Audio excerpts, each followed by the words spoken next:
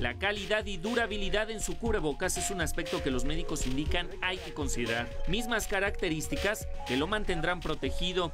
Que sí de preferencia utilice el cubrebocas quirúrgico debajo y uno de tela. ¿Por qué? Porque actualmente las cepas actuales son más contagiosas y pues sí están demostrando que de esta manera se reduce el contagio. Sin embargo, los médicos indican que el porcentaje de protección depende de quién y cómo se utiliza el cubrebocas.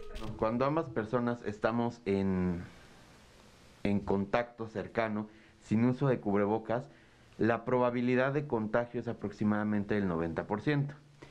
Baja hasta aproximadamente un 40%, que es lo que comentábamos, cuando se utiliza el cubrebocas la persona, una sola persona.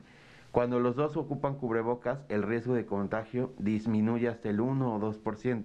Entonces realmente nos ayuda a no expulsar los aerosoles cuando hablamos o cuando tosemos y obviamente a que no entren las sustancias o los aerosoles a nuestro organismo. Hay quienes incluso consultan la protección que genera cada cubrebocas. Porque en primera puedo respirar bien y tiene un, bueno, creo que tiene, está adecuado para la, ocasión. Lo verificas por el internet, ¿no? Entonces así se va uno y compra uno, trata uno de comprar lo mejorcito para poder respirar, ¿no? Y para protegerse. Y para protegernos.